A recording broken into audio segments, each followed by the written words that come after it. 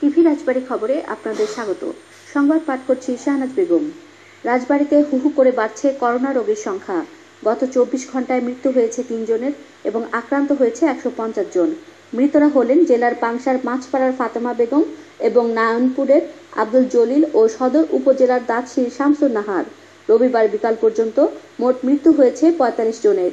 মোট আক্রান্ত হয়েছেন পাঁচ হাজার পাঁচশত ছাব্বিশ জন এবং সুস্থ হয়েছেন চার হাজার তিনশত পঁচানব্বই জন।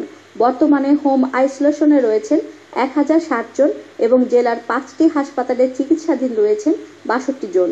রাজবাড়ীর civil surgeon doctor Mohammad Ibrahim Kiton জানিয়েছেন, প্রতিদিনই বাড়ছে করোনা রোগীর সংখ্যা।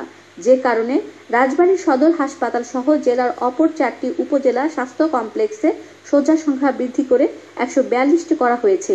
একই সাথে রোগীদের পর্যাপ্ত পরিমাণে অক্সিজেন সরবরাহ নিশ্চিত করতে প্রয়োজনীয় অক্সিজেন সিলিন্ডার মজুদের পাশাপাশি বান্নটি অক্সিজেন কনসেন্ট্রেটর নিশ্চিত করা হয়েছে। তিনি সকলকে স্বাস্থ্যবিধি মানার আহ্বানও জানান।